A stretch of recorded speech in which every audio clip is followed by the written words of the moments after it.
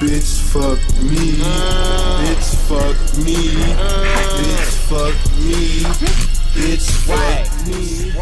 Bitch, fuck me. Bitch, fuck me. Bitch, fuck me. Bitch, fuck Lord Vader, You may take Captain Solo to Jabba the Hutt after I have Skywalker. He's no good to me dead. He will not be permanently dead. Lord Vader, what about Leia and the Wookiee? They must never again leave this city. That was never a condition of our agreement, nor was giving Han to this bounty hunter. Perhaps you think you're being treated unfairly. Good. It would be unfortunate if I had to leave the garrison here.